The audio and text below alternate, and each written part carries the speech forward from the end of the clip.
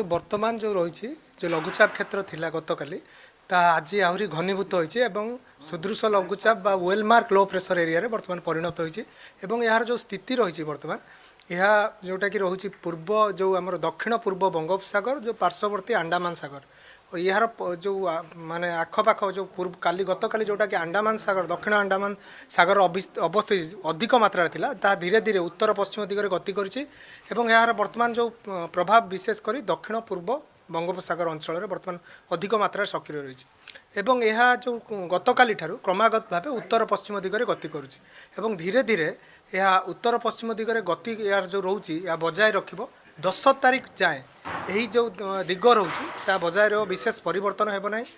ବା ଆଗାମୀ ବାର ଘଣ୍ଟା ମଧ୍ୟରେ ଯେଉଁଟା ସକାଳ ସାଢ଼େ ପାଞ୍ଚଟାରେ ଆମର ଅପଡ଼େଟ୍ ଥିଲା ଯେଉଁଟାକି ୱେଲମାର୍କ ଲୋ ପ୍ରେସର ଏରିଆ ପରିଣତ ହେଇଛି ତାପରେ ବାର ଘଣ୍ଟା ପରେ ଏହା ଆହୁରି ଘନୀଭୂତ ହୋଇ ଡିପ୍ରେସନ୍ ବା ଅବପାତରେ ପରିଣତ ହେବ। ଯେଉଁଟାକି ଆମର ଦକ୍ଷିଣ ପୂର୍ବ ବଙ୍ଗୋପସାଗର ଅଞ୍ଚଳରେ ସେହି ସମୟରେ ଡିପ୍ରେସନ୍ରେ ପରିଣତ ହେବ। ପରବର୍ତ୍ତୀ ସମୟରେ ଏହା ଉତ୍ତର ପଶ୍ଚିମ ଦିଗରେ ଗତି କରିବ। ଆସନ୍ତାକାଲି ଆଠ ତାରିଖ ସନ୍ଧ୍ୟା ବେଳକୁ ଏହା ପୂର୍ବ କେନ୍ଦ୍ରୀୟ ବଙ୍ଗୋପସାଗରରେ ସାମୁଦ୍ରିକ ବା ବାତ୍ୟାରେ ପରିଣତ ହେବ। ପରବର୍ତ୍ତୀ ସମୟରେ ଆହୁରି ଉତ୍ତର ପଶ୍ଚିମ ଦିଗରେ ଗତି କରିବ। ଏହା ପଶ୍ଚିମ କେନ୍ଦ୍ରୀୟ ବଙ୍ଗୋପସାଗର ଏବଂ ପାର୍ଶ୍ୱବର୍ତ୍ତୀ ଯେଉଁ ଆମର ଅଛି ଉତ୍ତର ପଶ୍ଚିମ ବଙ୍ଗୋପସାଗର ଅଞ୍ଚଳରେ ପହଞ୍ଚିବ ଯେଉଁଟାକି ଆମର ସମୁଦ୍ର ମଧ୍ୟରେ ଆମର ଉତ୍ତର ଆନ୍ଧ୍ର ଏବଂ ଓଡ଼ିଶା ଉପକୂଳ ପାଖାପାଖି ପହଞ୍ଚିବାର ସମ୍ଭାବନା ରହୁଛି। ଏବଂ ବର୍ତ୍ତମାନ ଯେଉଁ ସ୍ଥିତି ରହୁଛି ଆମର ପବନର ବେଗ ନଅ ତାରିଖ ଠାରୁ ଯେଉଁଟା କେନ୍ଦ୍ରୀୟ ବଙ୍ଗୋପସାଗର ଅଞ୍ଚଳରେ ପଞ୍ଚଷଠିରୁ ପଞ୍ଚସ୍ତରୀ ସର୍ବାଧିକ ପଞ୍ଚାଅଶୀ କିଲୋମିଟର ବେଗରେ ରହିବାର ସମ୍ଭାବନା ରହୁଛି। ପରବର୍ତ୍ତୀ ସମୟରେ ଏଇ ଯେଉଁ ପବନର ବେଗ ଆହୁରି ବୃଦ୍ଧି ପାଇବ ଦଶ ତାରିଖ ବେଳକୁ କେନ୍ଦ୍ରୀୟ ବଙ୍ଗୋପସାଗର ଉତ୍ତର ପଶ୍ଚିମ ଯେଉଁ ପାର୍ଶ୍ୱବର୍ତ୍ତୀ ରହୁଛି ଆମର ଉତ୍ତର ଆନ୍ଧ୍ର ଓଡ଼ିଶା ଯେଉଁଟାକି ସମୁଦ୍ର ମଧ୍ୟରେ ପବନର ବେଗ ସତୁରିରୁ ଅଶୀ ସର୍ବାଧିକ ନବେ କିଲୋମିଟର ପର୍ଯ୍ୟନ୍ତ ରହିବାର ସମ୍ଭାବନା ରହୁଛି। ଏବଂ ତେଣୁ ଏଇ ଯେଉଁ ଏହି ସମୟରେ ସମୁଦ୍ର ଅତ୍ୟଧିକ ଅଶାନ୍ତ ରହିବ ଯେଉଁଟାକି ନଅ ତାରିଖରେ ଆମର ନଅ ଏବଂ ଦଶରେ କେନ୍ଦ୍ରୀୟ ବଙ୍ଗୋପସାଗର ଦଶ ତାରିଖରେ ଉତ୍ତର ପଶ୍ଚିମ ବଙ୍ଗୋପସାଗର ପାର୍ଶ୍ୱବର୍ତ୍ତୀ ଯେଉଁ ରହୁଛି ଓଡ଼ିଶା ଏବଂ ଉତ୍ତର ଆନ୍ଧ୍ର ଉପକୂଳ ଏ ଅଞ୍ଚଳରେ ସମୁଦ୍ର ଅଶାନ୍ତ ରହିବ। ତେଣୁ ମତ୍ସ୍ୟଜୀବୀମାନଙ୍କୁ ନଅ ତାରିଖରୁ ଦଶ ତାରିଖ ଏଇ ଯେଉଁ ରହୁଛି କେନ୍ଦ୍ରୀୟ ବଙ୍ଗୋପସାଗର ଏବଂ ଓଡ଼ିଶା ଉତ୍ତର ଆନ୍ଧ୍ର ଏବଂ ପଶ୍ଚିମ କେନ୍ଦ୍ରୀୟ ବଙ୍ଗୋପସାଗର ଅଞ୍ଚଳକୁ ଯିବା ପାଇଁ ସମ୍ପୂର୍ଣ୍ଣ ଭାବେ ବାରଣ କରାଯାଇଛି। ସାର୍ ପାଗରେ କେବେଠୁ ପରିବର୍ତ୍ତନ ଆସିବ ଏବଂ ଅ, ଯୋଉ ଲଘୁଚାପ ଜନିତ ବର୍ଷା କେବେ ପ୍ରଭାବ କେମିତି ଆସିବ? ଦେଖନ୍ତୁ ସମ୍ଭାବ୍ୟ ଯେଉଁ ବାତ୍ୟା କଥା କୁହାଯାଉଛି ଆମର ପୂର୍ବରୁ ଗତକାଲି ମଧ୍ୟ ସୂଚନା ଦିଆଯାଇଥିଲା ଦଶ ତାରିଖ ଗତକାଲିର ଯେଉଁ ଆକଳନ ଥିଲା ତାର ପାଞ୍ଚ ଦିନିଆ ପରିସର ଭୁକ୍ତ ଆକଳନ ଯେଉଁ ଥିଲା ଦଶ ତାରିଖ ବେଳକୁ ଆମର ଯେଉଁ ଉପକୂଳ ଓଡ଼ିଶା ରହୁଛି ଉପକୂଳ ଓଡ଼ିଶା ଅଞ୍ଚଳରେ ଅନେକ ସ୍ଥାନରେ ହାଲୁକାରୁ ମଧ୍ୟମ ଧରଣର ବର୍ଷା ରହିବ କିନ୍ତୁ ଆମର ଚାରି ଜିଲ୍ଲାରେ ଯେଉଁଟାକି ହେଉଛି ଗଞ୍ଜାମ ଜଗତସିଂହପୁର ପୁରୀ ଏବଂ ଖୋର୍ଦ୍ଧା ଏଇ ଯେଉଁ ଚାରି ଜିଲ୍ଲା ରହୁଛି ସେ ଜିଲ୍ଲାରେ ଗୋଟେରୁ ଦୁଇଟି ସ୍ଥାନରେ ଆମର ପ୍ରବଳ ବର୍ଷା ଅର୍ଥାତ୍ ଷାଠିଏ ମିଲିମିଟରରୁ ଆମର ବର୍ଷା ଅଧିକ ମାତ୍ରାରେ ରହିବାର ସମ୍ଭାବନା ବାତ୍ୟା ନେଇକି ଚିତ୍ର କେତେବେଳେ ସ୍ପଷ୍ଟ ହେବ? ବାତ୍ୟା ପାଇଁ ତ ଆମର ଗତକାଲି ଠାରୁ ଚିତ୍ର ସ୍ପଷ୍ଟ କରାଯାଇଛି। ଆଠ ତାରିଖ ସନ୍ଧ୍ୟା ସୁଦ୍ଧା ଆମର ଏହା ସାମୁଦ୍ରିକ ଝଡ଼ ବା ବାତ୍ୟାରେ ପରିଣତ ହେବାର ସମ୍ଭାବନା ରହୁଛି। ବର୍ତ୍ତମାନ ସ୍ଥିତିରେ ଯେତେବେଳେ ଅବପାତରେ ରୂପାନ୍ତରିତ ହେବ ତାପରେ ଆପଣଙ୍କର ଧୀରେ ଧୀରେ ଆମର ଯେଉଁ ଇନପୁଟ୍ ଅଧିକ ମିଳିବ ଯେତେବେଳେ ପର୍ଯ୍ୟବେକ୍ଷଣ ଆମର ତୀବ୍ରତା ବୃଦ୍ଧି ପାଇବ ତାପରେ ଆମର ଚିତ୍ର ସ୍ପଷ୍ଟ ହୋଇଯିବ କେଉଁ ଉପକୂଳ ମୁହାଁ ଏହା ହେବ। ଯେମିତି କାଲି କୁହାଯାଉଥିଲା ଯେ ଆନ୍ଧ୍ର ଏବଂ ଓଡ଼ିଶା କୋଷ୍ଟର ଅଫ୍ ଏରିଆରେ ସେ ରହିବ ସମୁଦ୍ର ଭିତରେ। ସମୁଦ୍ର ଭିତରେ ଯେଉଁଟା ଆଜି ମଧ୍ୟ ସେହି ସୂଚନା ରହିଛି କାରଣ ଆମର ବର୍ତ୍ତମାନ ସୁଦ୍ଧା ୱେଲମାର୍କ ଲୋ ପ୍ରେସର ଏରିଆରେ ପରିଣତ ହୋଇଛି।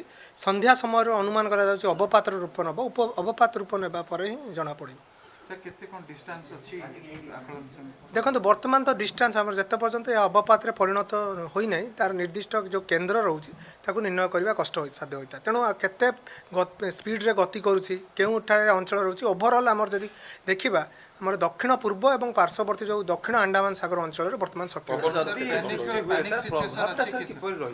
ପ୍ରଭାବ ଆମର ଯେଉଁଟା କୁହାହେଉଛି ବର୍ଷାର ପ୍ରଭାବ ରହିବ କିନ୍ତୁ ତାର ଗତିପଥ ସମ୍ପୂର୍ଣ୍ଣ ଭାବେ ଯେତେବେଳେ ନିର୍ଣ୍ଣୟ କରାଯିବ ତାପରେ ଜଣାପଡ଼ିବ ତାର ପ୍ରଭାବ କେଉଁ ଅଞ୍ଚଳକୁ କିପରି କିପରି ରହିବ। ପୂର୍ବାନୁମାନ କରାଯାଉଥିଲା ଯେ ଯେତେବେଳେ ରହିଥିବ ଅ, ପୂର୍ବରୁ ମଧ୍ୟ ସେ ଦୁର୍ବଳ ହେଇଯିବ ବୋଲି ମଧ୍ୟ ସେ ସମୟରେ କୌଣସି ଆକଳନ ଆମର ଜାରି କରାଯାଇନି ବର୍ତ୍ତମାନ। ଆମର କେବଳ କୁହାଯାଇଛି କି ବାତ୍ୟା ରହୁଛି ଆଠ ତାରିଖ ସୁ- ସୁଦ୍ଧା ଏବଂ ଦଶ ତାରିଖ ବେଳକୁ ଏହା ପଶ୍ଚିମ କେନ୍ଦ୍ରୀୟ ବଙ୍ଗୋପସାଗର ଏବଂ ଉତ୍ତର ଆନ୍ଧ୍ର ଓଡ଼ିଶା ଯେଉଁ ପାର୍ଶ୍ୱବର୍ତ୍ତୀ ଆପଣଙ୍କର ରହୁଛି ଉତ୍ତର ପଶ୍ଚିମ ବଙ୍ଗୋପସାଗର ଅଞ୍ଚଳରେ ପହଞ୍ଚିବ।